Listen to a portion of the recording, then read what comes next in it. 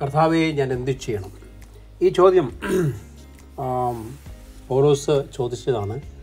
തന്റെ മാനസാന്തര ദിനം മുതൽ ജീവിതാന്ത്യം വരെയും പൗലോസിന്റെ ജീവിതത്തിൽ കാണപ്പെട്ട വിനയത്തെയാണ് ഇത് കാണിക്കുന്നത്. അപ്പോൾ യേശുവിനെ കേവലം രക്ഷകനായി മാത്രം കാണാതെ പൗലോസ് തന്റെ കർത്താവായി അംഗീകരിച്ചു. എന്നാൽ ഇന്ന് പലരും യേശുവിനെ കേവലം രക്ഷകനായി മാത്രം കാണുന്നു. ഇത് തികച്ചും തെറ്റായ ഒരു സമീപനമാണ്. യേശുവിനെ കർത്താവും രക്ഷിതാവുമായി അംഗീകരിക്കാൻ കഴിയുന്നില്ല എങ്കിൽ അങ്ങനെയുള്ളവർ യേശു കർത്താവിന്റെ അപ്പോസ്തലന്മാരുടെയും ആദ്യകാല ശിഷ്യന്മാരുടെയും പൗരോസിന്റെയും മാനസിക സ്ഥിതിയിൽ നിന്ന് വളരെ അകലെയാണ്. അപ്പം യേശു ഒരു ഗംഭീര വ്യക്തിത്വത്തിന്റെ ഉടമയായിരുന്നു. ക്രിസ്തു മനുഷ്യപുത്രൻ ദൈവപുത്രൻ യഹോവയായ ദൈവം മനുഷ്യനായ അവതാരം രക്ഷകൻ കർത്താവ്. അപ്പോൾ ഒരുവൻ മാനസാന്തരപ്പെട്ട് യേശുവിന്റെ അടുക്കൽ വരുമ്പോൾ ഇതിൽ ഏതെങ്കിലും ഒന്ന് മാത്രമേ അപ്പോൾ ഉണ്ടായിരിക്കുകയുള്ളൂ. എന്നാൽ എന്തെന്നാൽ യേശു ആരാണെന്ന് അല്പമായ അറിവ് മാത്രമേ ഉള്ളൂ. രക്ഷിക്കപ്പെടുവാൻ കൂടുതൽ ദൈവശാസ്ത്രം അറിയേണ്ടതിനില്ല. എങ്കിലും അവനെ പൂർണമായും അംഗീകരിക്കേണ്ടത് അത്യാവശ്യമാണ്. അപ്പോൾ അവയിലൊന്ന് അല്ലെങ്കിൽ മറ്റൊന്ന് അവന്റെ മനസ്സിൽ ഉന്നതമായിരിക്കാം. പക്ഷേ അവയിലൊന്നുപോലും മനഃപൂർവം നിരസിക്കാനും ക്രിസ്തുവിൽ യഥാർത്ഥ വിശ്വാസമുണ്ടെന്ന് അവകാശപ്പെടുവാനും അവന് കഴിയില്ല. അപ്പം ഈ അത്ഭുതവാനായ വ്യക്തിയെ സ്വീകരിക്കുന്നതിനാൽ തീർച്ചയായും അവൻ ആയിരിക്കുന്നുവോ? അതുപോലെ തന്നെ സ്വീകരിക്കുക അവൻ എന്തായിരിക്കുന്നുവോ? അതെല്ലാം സ്വീകരിക്കുക നാം അവനെ സ്വീകരിക്കുമ്പോൾ അവൻ ആരാണെന്ന് പൂർണമായി നമുക്കറിയില്ലെങ്കിലും ജീവിതകാലം മുഴുവൻ അവനെ പൂർണമായും അറിയുവാൻ ശ്രമിക്കുകയും പൂർണമായും അനുസരിക്കുകയും പിന്തുടരുകയും ചെയ്യുക എന്നതിന്റെ അർത്ഥം മനസ്സിലാക്കാൻ ശ്രമിക്കുകയും ചെയ്തുകൊണ്ടിരിക്കും. പൗലോസ് യേശുവിനെ കർത്താവാണെന്ന് മനസ്സിലാക്കിയതിനാലും എന്താണ് ചെയ്യേണ്ടതെന്ന് തന്നോട് പറയുവാൻ യേശുവിന് അധികാരമുണ്ടെന്നും പൗലോസ് തിരിച്ചറിഞ്ഞതായി നാം ഈ വാക്യത്തിൽ കാണുന്നു. ആയതിനാൽ യേശുവിന്റെ അരുളപ്പാടിനായി താൻ കാതോർത്തു. യഥാർത്ഥ ക്രിസ്ത്യ ജീവിതത്തിലേക്കുള്ള വഴിയും ഇതുതന്നെയാണ് മത്തായി പതിനാലാം പത്തായി മത്തായി നാലാം അധ്യായം പതിനേഴാം വാക്യത്തിൽ ഓരോ പാപിയും അനുദപിക്കേണ്ട ഒരു പ്രധാന കാര്യം ക്രിസ്തുവിന്റെ ആ കർത്തൃത്വത്തിനെതിരായുള്ള അവന്റെ അല്ലെങ്കിൽ അവളുടെ മത്സരമാണ്. അപ്പം രാജാവിന് കീഴ്പ്പെടുവാൻ മനസ്സില്ലാതെ ഒരാൾക്ക് എങ്ങനെ അവന്റെ രാജ്യത്തിൽ പ്രവേശിക്കാൻ കഴിയും? അതുപോലെ തന്നെ തന്റെ ശരീരമായ സഭയുടെ തലയും കർത്താവുമാണ്. അപ്പോൾ യേശു ക്രിസ്തു അപ്പോൾ ക്രിസ്തുവിന്റെ കർത്തൃത്വത്തെ ഹൃദയത്തിൽ നിരാകരിക്കുന്ന ഒരു വ്യക്തിയെ പരിശുദ്ധാത്മാവിന് ഒന്ന് കൊരുത്ത് പന്ത്രണ്ടാം അധ്യായം പന്ത്രണ്ട് മുതൽ പതിമൂന്ന് വാക്യങ്ങൾ സഭയാകുന്ന ഈ ശരീരത്തിലേക്ക് സ്നാനപ്പെടുത്തുവാൻ എങ്ങനെ കഴിയും?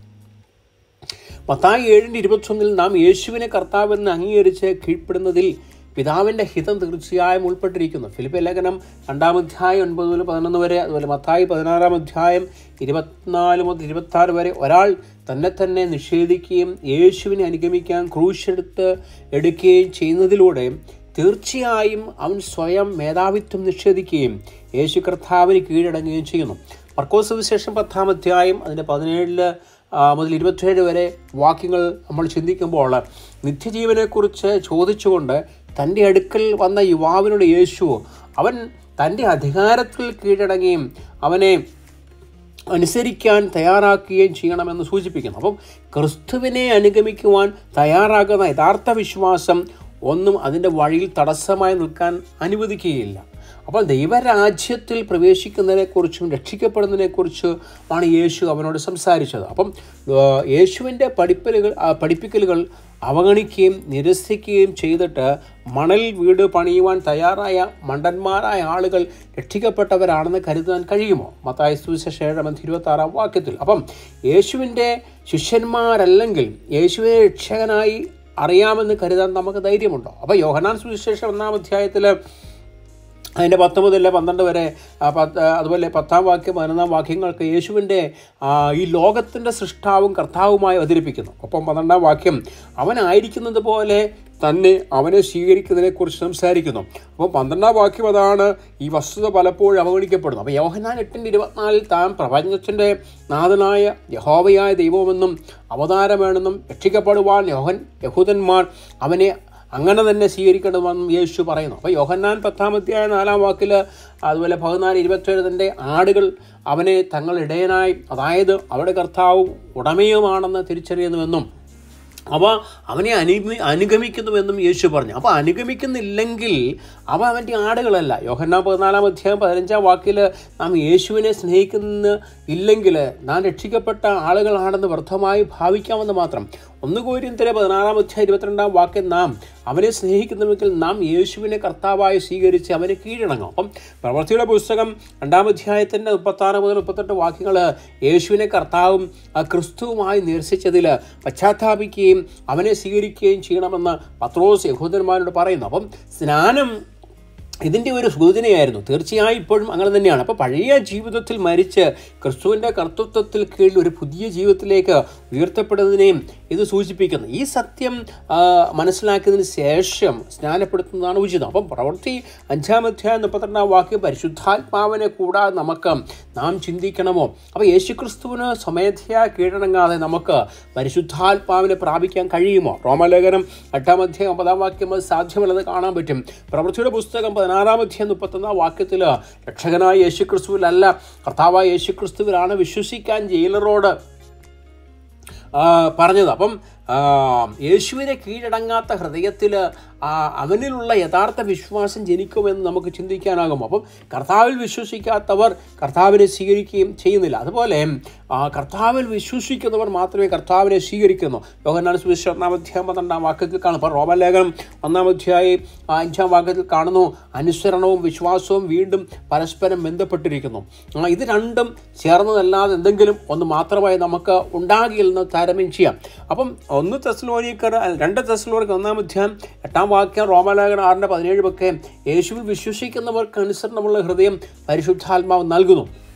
അപ്പോൾ അനുസരണത്താൽ നാം രക്ഷിക്കപ്പെടുന്നില്ല. വിശ്വാസത്താൽ നാം രക്ഷിക്കപ്പെടുന്നു. നമ്മെ അനുസരണമുള്ളവരാക്കുവാൻ തുടങ്ങുന്ന വിശ്വാസമാണ്. അത് മറ്റെന്തെങ്കിലും തരത്തിലുള്ള വിശ്വാസം ജീവനില്ലാത്തതാണ്. യാക്കോബിന്റെ ലേഖനത്തിൽ രണ്ടാം അധ്യായം പതിനാലാം വാക്യം മുതൽ ഇരുപത്തി ആറാം വാക്യം വരെ നമ്മൾ കാണാൻ പറ്റും. അപ്പം റോമലേഖനം ആറാം അധ്യായം പതിനാറ് മുതൽ ഇരുപത്തിമൂന്ന് വരെ വാക്കിൽ ചിന്തിക്കുമ്പോൾ ഓരോ വ്യക്തിയും താൻ എന്തിനെ അനുസരിക്കുന്നോ? അതിന് അടി അടിമയാണെന്ന് പൗരസ് പറയും നാം പാപത്തെ കീഴ് അട കീഴടങ്ങിയാൽ നാം പാപത്തിന്റെ ദാസന്മാരാണ്. നാം ദൈവത്തിന്റെ ദൈവത്തിന് കിട്ടണമെങ്കിൽ ദൈവത്തിന്റെ ദാസന്മാരാണ്. ഒരു വഴി മരണത്തിലേക്ക് നയിക്കുന്നു മറ്റൊരു വഴി നീതിയിലേക്കും ജീവിതത്തിലേക്ക് നയിക്കുന്നു. അപ്പോസ്തലന്മാർ നൽകിയ പഠിപ്പിക്കലിനെ അനുസരിക്കുന്നതിലൂടെ യേശുക്രിസ്തുവിന്റെ കർത്തൃത്വം നമ്മുടെ മേൽ വ്യക്തമായി അനുഭവിക്കാൻ കഴിയും. അപ്പോൾ ക്രിസ്തുവിനെ നമ്മുടെ കർത്താവായി അംഗീകരിക്കാതെ നമുക്ക് ദൈവത്തിന്റെ അടിമകളാകാൻ സാധ്യമല്ല. റോമാലേഖൻ എട്ടിന്റെ പതിനാല് ക്രിസ്തുവിനെയും കർത്തൃത്വത്തിൽ കീഴിൽ ദൈവത്തിന്റെ ആത്മാവ് എല്ലപ്പോഴും നമ്മെ നയിക്കുന്നില്ലയോ? അപ്പോൾ ചോദ്യം ചോദിക്കുക എന്നാൽ അത് ഉത്തരം നൽകുക എന്നതാണ്. ഇപ്പം ദൈവാത്മാവിനാൽ നയിക്കപ്പെടുക അല്ലെങ്കിൽ നയിക്കപ്പെടുന്നവർ മാത്രമേ രക്ഷിക്കപ്പെടുകയുള്ളൂ എന്ന് പൗരോസ് പറയുന്നില്ലേ? അപ്പോൾ റോമലേഖനം പത്താം അധ്യായം ഒമ്പതാം വാക്യത്തിൽ യേശുവിനെ കർത്താവ് ഏറ്റുപറയുകയും നമ്മുടെ മേലുള്ള അവിടുത്തെ കർത്തൃത്വം നമ്മുടെ ഹൃദയത്തിൽ നിരസിക്കുകയും ചെയ്യുമോ? ഇതാണ് രക്ഷയുടെ മാർഗമെന്ന് നമുക്ക് ചിന്തിക്കാമോ അത് കാപഠ്യമല്ലേ അപ്പോൾ രക്ഷയുടെ അടിസ്ഥാന കാര്യങ്ങളെക്കുറിച്ചാണ് പൗലോസ് സംസാരിക്കുന്നത് ശ്രദ്ധിക്കുക. റോമലേഖനം പതിനാലാം അധ്യായം ഒമ്പതാം വാക്യത്തിൽ മനുഷ്യരുടെ ജീവിതത്തിന്റെ കർത്താവായിരിക്കുക എന്നതാണ് അവർ മരിച്ചതിന്റെ കാരണം. അപ്പോൾ വിശ്വാസത്താൽ തന്നിലേക്ക് വരുന്ന എല്ലാവരിലും അവൻ ഈ ലക്ഷ്യം നിറവേറ്റാൻ തുടങ്ങിയില്ലേ? തീർച്ചയായും. എഫ് ലേഖനം രണ്ടിന്റെ പത്ത് ഫിൽഫിയർ ഒന്നിന്റെ ആറ്. ദൈവവിശ്വാസികളിൽ ആരംഭിച്ച സൽപ്രവൃത്തിയുടെ ഒരു ഭാഗം ക്രിസ്തുവിന്റെ കർത്തൃത്വത്തിന് കീഴടങ്ങുന്നതും നാം ചെയ്യാം. ദൈവം നിയോഗിച്ചിരിക്കുന്ന സൽപ്രവൃത്തികൾ ചെയ്യാൻ ഒരു ഹൃദയം നൽകുക എന്നതുമാണ്. ഫിൽഫിയർ ലേഖനം രണ്ടാമധ്യായത്തിന്റെ പത്തൊമ്പതിൽ പതിനേഴ് വാക്യങ്ങൾ തന്റെ ജനമായിരിക്കാൻ വേണ്ടി ദൈവം വിളിക്കുന്ന എല്ലാവരിലും ഇത് സംഭവിക്കുന്നു. കൊലോസ് ലേഖനം രണ്ടിന്റെ ആറിൽ കൊലോസിയർ യേശുവിനെ കർത്താവായി സ്വീകരിച്ചു. അവരെ പഠിപ്പിച്ചതും അവർ സ്വീകരിച്ചതുമായ വിശ്വാസമാണ് അപ്പോൾ തീർച്ചയായും എല്ലാ യഥാർത്ഥ വിശ്വാസികളും അവരുടെ കാലടികൾ പിന്തുടർന്നു ഒന്ന് തെലസ്ലോനിക്കർ ഒന്നാം അധ്യായത്തിന്റെ ഒമ്പത് മുതൽ പത്ത് വരെ വാക്യങ്ങൾ നിന്നും യഥാ യഥാർത്ഥ പരിവർത്തനം എന്തെന്ന് കാണിക്കുന്ന ഉദാഹരണമാണ്. അപ്പോൾ യേശുവിനെ കർത്താവായി സ്വീകരിക്കാതെ ഏതെങ്കിലും തരത്തിൽ ദൈവത്തെ യഥാർത്ഥമായി സേവിക്കാൻ സാധ്യമാണോ എന്ന് നമുക്ക് ചിന്തിക്കാമാകുമോ? എബ്രാലേഖൻ അഞ്ചാം അധ്യായം ഒമ്പതാം വാക്യത്തിൽ ക്രിസ്തുവിനെ അനുസരിക്കുന്നവർക്ക് നിത്യരക്ഷ ലഭിക്കുന്നുവെന്നും ഇവിടെ വ്യക്തമായി പറയുന്നു. അപ്പോൾ ക്രിസ്തുവിനോടുള്ള വിശ്വാസവും ആ, അനുസരണം ഒരുമിച്ച് ചേർന്ന് പോകുമെന്ന് അർത്ഥമാക്കാം. അപ്പം ദൈവം ആർക്കെങ്കിലും വിശ്വാസം നൽകുമ്പോൾ അതോടൊപ്പം തന്നെ അനുസരണമുള്ള ഹൃദയവും നൽകുന്നു. എബ്രാലേഖനം പത്ത് എട്ടിന്റെ പത്ത്. അപ്പോൾ എഫ് എസ് ഐക്ക് പത്താറിന്റെ ഇരുപത്താറ് ഇരുപത്തേഴ് വാക്കുകൾ കാണും അപ്പം ഒന്ന് പത്രോസ് ഒന്നിന്റെ രണ്ടിൽ ദൈവം ആളുകളെ തിരഞ്ഞെടുക്കുന്നതിലെ ഉദ്ദേശവും അവരെ ക്രിസ്തുവിലേക്ക് കൊണ്ടുവരുന്നതിൽ പരിശുദ്ധാത്മാവിന്റെ പ്രവർത്തനത്തിന്റെ ഉദ്ദേശവും അവർ യേശുക്രിസ്തുവിനെ അനുസരിക്കണമെന്നുള്ളതാണ്. അവന്റെ രക്തത്താൽ തളിക്കുന്നതിന് മുൻപായി തന്നെ അനുസരണം എന്ന് പറഞ്ഞിരിക്കുന്നത് ശ്രദ്ധിക്കുക. അപ്പോൾ ഒന്ന് പത്രോസ് നാലാം അധ്യായം പതിനേഴാം വാക്യത്തിൽ ദൈവത്തിന്റെ സുവിശേഷം മനുഷ്യൻ അനുസരിക്കേണ്ട ഒന്നാണെന്നും അതനുസരിക്കാത്തവർക്ക് ഭയാനകമായ ന്യായവിധി വരുന്നുണ്ടെന്നും പത്രോസ് ചൂണ്ടിക്കാണിക്കുന്നു. ഒന്ന് യോഹന്നാൻ രണ്ടാം അധ്യായത്തിൽ നാല് മുതൽ ആറ് വരെ യേശുവിനെ അനുസരിക്കാൻ തയ്യാറുള്ള ഒരു ഹൃദയമില്ലാത്ത രക്ഷിക്കപ്പെടുവാൻ സഹായിക്കുന്ന സത്യം ശരിയായ അറിവിലേക്ക് വരുവാൻ സാധ്യമാണ്. നമുക്കിതിനെ വെളിച്ചത്തിൽ ചിന്തിക്കാനാകും. അപ്പം വെളിപ്പാട് പുസ്തകം മൂന്നാം അധ്യായം ഇരുപത് അതിന്റെ പതിനാലാം വാക്യത്തിൽ ശ്രദ്ധിക്കുക. അവൻ തന്നെ ഈ സഭയുടെ രക്ഷകനായിട്ടല്ല മറിച്ച് ദൈവത്തിന്റെ സർവ സൃഷ്ടിയുടെയും ഭരണാധികാരി എന്ന നിലയിലാണ് അവതരിക്കുന്നത്. അപ്പോൾ ഇരുപതാം വാക്യം ഉപയോഗിക്കുമ്പോൾ ഈ വസ്തുത പലപ്പോഴും അവണി അവഗണിക്കപ്പെടുന്നു. അപ്പോൾ കർത്താവും രാജാവും എന്ന പോലെ അവൻ വാതിലിന് വെളിയിൽ നിൽക്കുകയും മുട്ടുകയും ചെയ്യുന്നു. കർത്താവും രാജാവുമായി തന്നെ അവനെ സ്വീകരിക്കേണ്ടതാണ്. അവൻ വരുമ്പോൾ കർത്താവ് രക്ഷകൻ രാജാവ് എന്നിങ്ങനെ ഒരേ സമയം അവനായിരിക്കുന്നത് പോലെ വരുന്നു. നമുക്ക് ഒരേ സമയം ബോധപൂർവം അവൻ രക്ഷകനായി സ്വീകരിക്കാനും കർത്താവും രാജാവും അല്ല എന്ന് നിരസിക്കാനും കഴിയില്ല. അത്ഭുതവനായ ഈ വ്യക്തിയെ അവനായിരിക്കുന്ന പോലെ തന്നെ പൂർണമായി സ്വീകരിക്കുന്നതിനെക്കുറിച്ച് നാം കൂടുതൽ ബോധവാന്മാരായിരിക്കണം. അത് നമ്മുടെ ആത്മീയ ജീവിതത്തിന് വളരെ നല്ലതായിരിക്കും. അപ്പോൾ മാനസാന്തരപ്പെട്ട വിശ്വാസത്തോടു കൂടെ യേശുവിന്റെ അടുക്കൽ വരിക എന്നത് യേശുവിനെ രക്ഷകനായും കർത്താവായും അംഗീകരിക്കുകയാണെന്നുള്ള വസ്തുതയ്ക്ക് ഇനിയും തിരുവചനത്തിൽ നിന്ന് വേറെ തെളിവുകൾ ഒന്നും തന്നെ ആവശ്യമില്ല. അപ്പോൾ പുതിയ നിയമം വ്യക്തമായി പഠിപ്പിക്കുന്നത് യേശുവിനുള്ള വിശ്വാസം മൂലം കൃപയാലാണ് രക്ഷ പ്രാപിക്കാൻ കഴിയുന്നതെന്നാണ്. അപ്പം യേശുവിന്റെ അടുക്കൽ വരുന്ന എല്ലാവരും ഈ വസ്തുക്കൾ നന്നായി മനസ്സിലാക്കിയവരോ അല്ലെങ്കിൽ ഈ കാര്യങ്ങളെക്കുറിച്ച് പൂർണമായി ബോധവാന്മാരായവരോ ആണെന്ന് ഞാൻ പറയുന്നില്ല. അപ്പം വിശ്വാസത്തിന് ശേഷം നാം എല്ലാവരും എല്ലാ കാര്യങ്ങളിലും അവരെ പൂർണമായി അനുസരിക്കുന്നുവെന്നും അല്ലെങ്കിൽ നാം ഒരിക്കലും അവരോട് മത്സരിക്കില്ലെന്ന് ഞാൻ പറയുന്നില്ല. അപ്പോൾ ഈ കാര്യങ്ങളെല്ലാം നാം എല്ലാം പല വിധത്തിൽ പരാജയപ്പെടുന്നു. യാക്കോബിന്റെ ലേഖനം മൂന്നാം അധ്യായം രണ്ടാം വാക്യത്തിൽ എന്നാൽ ഞാൻ പറയുന്നത് വ്യക്തികൾ വിശ്വാസത്തിൽ തന്നിലേക്ക് തിരിയുമ്പോൾ ദൈവം അവരുടെ മനസ്സിന്റെ ഹൃദയത്തിലും ഒരു അത്ഭുതകരമായ പ്രവൃത്തി ചെയ്യുന്നു. വീണ്ടും ജനനം. ഉടനെ അവനിൽ വസിക്കാൻ ദൈവം പരിശുദ്ധാത്മാവിനെ കർത്താവായ യേശു ക്രിസ്തുവിന്റെ ആത്മാവിനെ നൽകുന്നു. അപ്പോൾ യേശു ആരാണെന്ന് കാണുവാനും അവൻ രക്ഷകനായി സ്വീകരിക്കാനും കർത്താവിനെ അംഗീകരിച്ചവനെ കീഴടങ്ങുവാൻ ഇത് പ്രാപ്തനാക്കുന്നു. ഇതൊന്നും നിന്നും ഒന്നും ചെയ്യാതെ മറ്റൊന്ന് ചെയ്യുവാൻ ആഗ്രഹിക്കുന്ന വ്യക്തി വളരെ അപകടകരമായ നിലയിലാണ്.